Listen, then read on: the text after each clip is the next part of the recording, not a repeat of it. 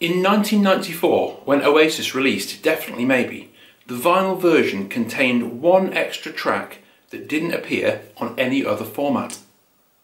And the extra track was Sad Song, which became the new track 6 on Definitely Maybe, appearing after Columbia and bumping the album track listing up to 12 songs. And in an interview with the NME, Noel explains why they added that track. He says, When we cut the vinyl version of this album on a single disc, the grooves were so close together that it was really quiet. So we went back to the record company and said, we can't put the vinyl out like this. And the way round it was to do a double album. But that meant we were a song short. So they said, you'll have to come up with another song by tonight. So Noel went into the studio with Owen Morris and recorded a really quick, very simple acoustic song after everything else had already been finished. So really, it was only ever an afterthought. It was a vinyl bonus track and it was never intended to be considered part of the original album. On Oasis's third album, on Be Here Now, they had 12 tracks, all of which were really long, so they didn't have that same problem and there is no vinyl bonus exclusive track. However, when it came to their second album, What's the Story Morning Glory, they did the same thing as with Definitely Maybe. They had 10 full songs. They also had the very long outro of Champagne Supernova and the two short snippets of the Swamp Song, which kind of made up an 11th song.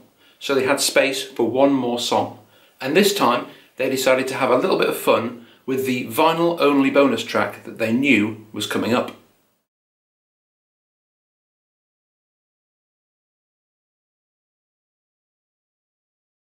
Probably the biggest musical influence on Oasis was the Beatles, and something they would frequently do on their albums was to have one song sung by Ringo Starr, the drummer. This started out just as a bit of a daft novelty track, but over time, as people came to expect the Ringo song, it developed into more of a, a serious feature on the album, and Lennon and McCartney began writing songs specifically for Ringo to sing. The Ringo song on Sgt. Pepper's Lonely Hearts Club Band is a great example. It's With a Little Help from My Friends, which is probably one of the best songs on the album. The song Yellow Submarine from Revolver also seems to be an influence on Bonehead's Bank Holiday. Oasis had been absolutely rinsing Revolver at the time, and Yellow Submarine is the Ringo novelty song on that album. So, the Beatles having the massive influence that they did over Oasis, the band decided that this time rather than doing a slightly rushed acoustic song, they planned out a novelty song, an Oasis Ringo song. However, they had just fired their drummer, Tony McCarroll. Alan White had only been with the band a couple of weeks, so was unlikely to be up for singing a novelty song. They had a hard enough time getting Guigsy the bass player to speak, let alone sing. So that only left one band member as a suitable candidate. Paul Bonehead Arthurs. On the album, Bonehead's Bank Holiday was positioned similarly to Sad Song at the end of the B-side of the first disc. Coming in after the first Swamp Song excerpt, it became the new track 7, bumping some might say up to track 8 and making the Morning Glory album 13 tracks long on vinyl. Now, some of Noel Gallagher's songs with Oasis have really interesting intricate, secret backstories. Don't Look Back in Anger being a really good example. The lyrics to Bonehead's Bank Holiday, however, are obviously just goofy lyrics to make people laugh, and that's it. Hey, no, it's Rob Milano from New York. Um, no real question. I just need the story of Bonehead's Bank Holiday. I just, I need it. I need to know. I need to know if there's, these are based on anything, if it's just a silly song, just anything you can give. Thanks, man. um, I'm afraid it's just a silly, silly song that doesn't mean a great deal. Uh, and the reason it was called Bonehead's Bank Holiday was Bonehead was going to sing it, but he got so drunk before he was due to sing it that he couldn't actually fucking stand up, far less sing it. They are quite all right lyrics, but it's just it's nonsense. It's a load of bollocks. Sorry if I've spoiled it for you. So, the track was written for Bonehead to sing. It was even called Bonehead's Bank Holiday. But For one reason or another, whether he was too drunk to do it properly or whether he just wasn't a good enough singer, Noel ended up singing it. But Bonehead and Liam also made it onto the track. Bonehead tells it like this Liam takes me down the pub and we come back at midnight, legless, and there's Noel and Owen waiting for me to record my vocal. I've got Liam holding me up, holding the lyrics in front of my face. We're making up the words, everyone's crying with laughter. Months later, I got a cassette through the post. It just had BBH written on it. Five hours of outtakes from Bonehead's Bank Holiday from Owen.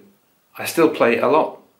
So, all the racket in the background, all the uh, fucking mega and all the uh, Cornish accents and all that stuff in the background is actually a very, very drunk Bonehead and Liam in the Coach House studio at midnight trying to record Bonehead's lead vocal.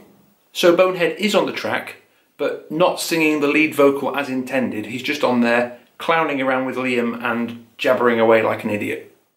This it was a ridiculous song. It was like stupid, daft thing he used to play in the rehearsal room to the lads. And I thought it'd be great if Bonehead sang it. So I did the backing track, did a guide vocal, and you know, he took a cassette up and he listened to it. And I said, You up for it? What? And he's like, Yeah, yeah, I'm fucking up for it.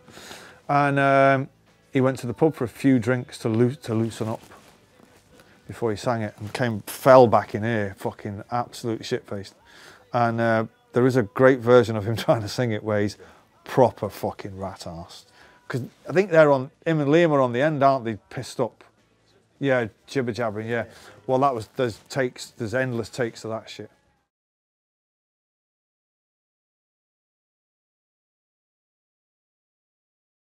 Bonehead's Bank Holiday really does stand out amongst the other tracks that were recorded for the Morning Glory sessions. And it doesn't stand out because it's an epic or anything like that, it stands out because it's so different. Oasis never recorded another song, to my knowledge, that sounded anything like this one. And there's a small hardcore of uh, conspiracy theorists, of which I might be one, that think this song and its very unusual arrangement for Oasis was actually them taking the mickey out of their Britpop rivals at the time, Blur.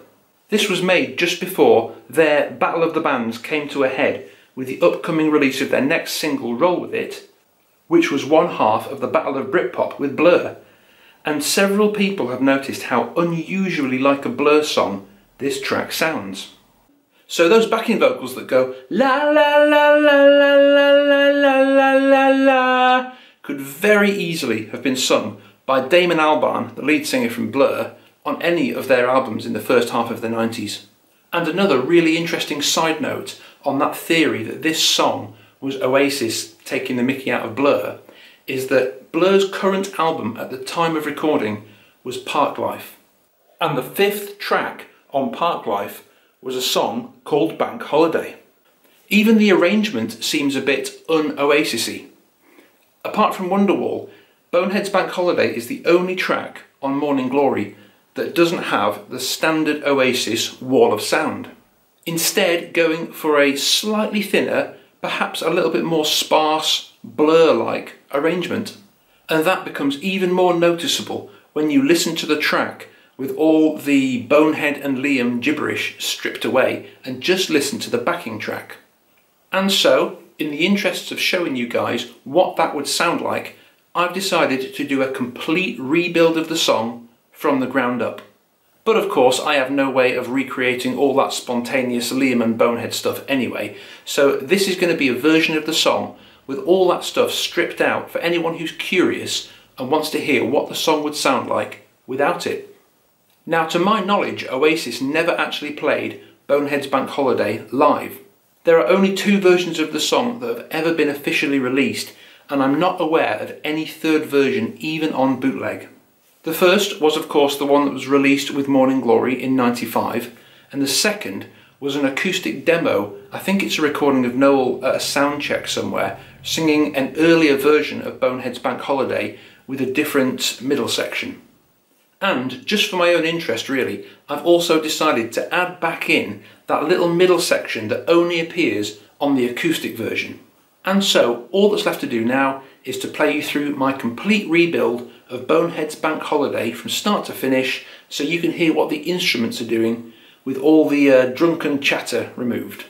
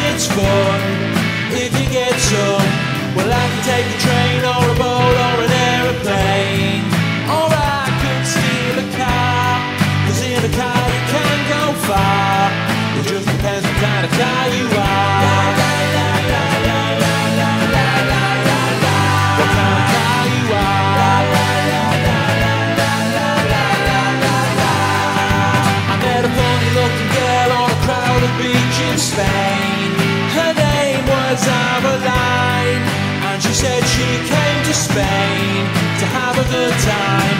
But she was with a woman with a face like a nun in pain. She said her name was Dot, and she did not talk a lot about a lot of things that I forgot. Couldn't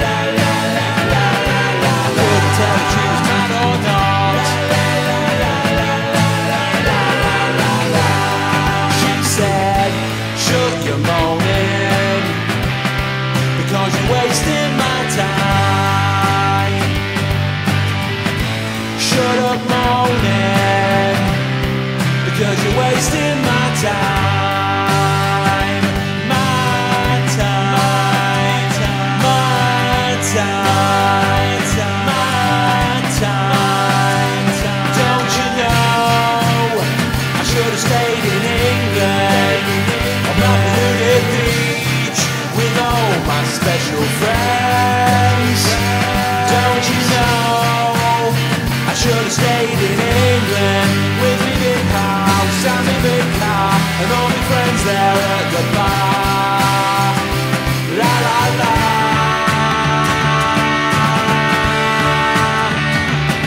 You know I need a little break to get away for a holiday. So I can see the sun. Cause in the sun they say it's fun. If you get some Well I can take a train or a boat or